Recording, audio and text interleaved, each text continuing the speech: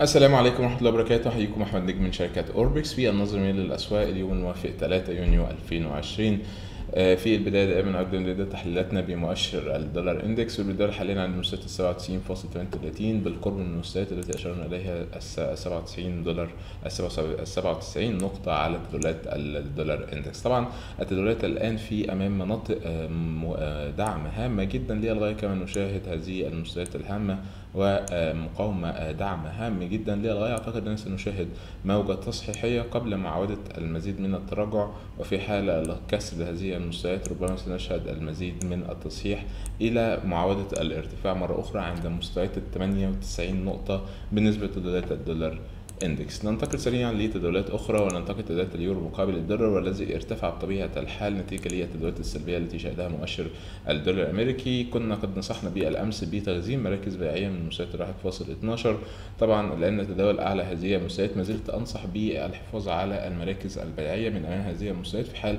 الصعود أكثر من هذا ربما سيكون لدينا فرص للتعزيز أكثر.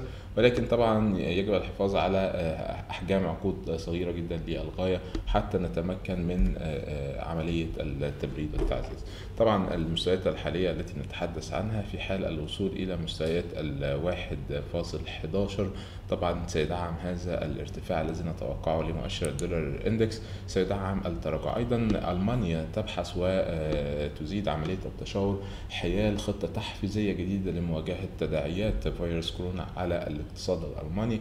طبعا هذه الخطة طبعا سيكون لها تأثير كبير جدا على أداء اليورو بشكل عام. سنتابع في فور صدور هذه الخطة ماذا سيؤثر هذا على التداولات وكيف نستفيد من تلك التداولات؟ الآن نحافظ على التداولات البيعية. أعتقد هي الأفضل من أمام هذه المستويات باستهداف مستويات الواحد فاصل 11 50 وكسر هذه المستويات سيدعم بنا التداول مرة أخرى إلى مستويات قرب مستويات الواحد فاصل 10 هذا بالنسبة لتداولات اليورو مقابل الدولار الأمريكي. ننتقل سريعا تداولات الدولار مقابل الياباني والذي اخترق بالفعل مستويات هامة جدا مستويات 108 وارتفع بشكل عنيف بنتحدث حوالي ال 80 نقطة تقريبا منذ هذا الارتفاع. أيضا بالأمس أشرنا إلى هذه المستويات وهي مستويات مقاومة هامة جدا للغاية وكسرها سيؤدي بنا إلى الارتفاع هذا ما شاهدناه بالفعل. أعتقد أن ما زال لدينا بعض الارتفاعات إلى مستوى 109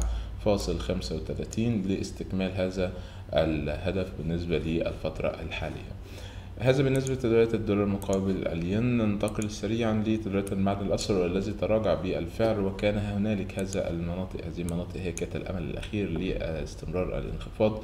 أيضا كان بالنظر إلى الإطار الزمني الأصغر على أداء المعدن الأصفر كان هنالك كسر هذه المستويات وهي أيضا تدعم المزيد من التراجع. الجدير بالذكر أن التداولات السلبية للمعدن الأصفر كانت بتتوازى مع التداولات السلبية لمؤشر الدولار الأمريكي.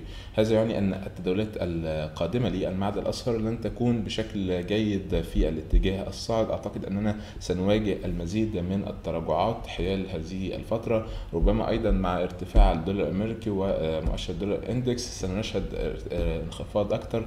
أعتقد أن الهدف القادم هو مستويات ال 1700 دولار للأونس وأعتقد أننا في حال أيضا كسر هذه المستويات أعتقد أننا سنشاهد مستويات ال 1670 مرة أخرى لتداولات المعدن الأصفر.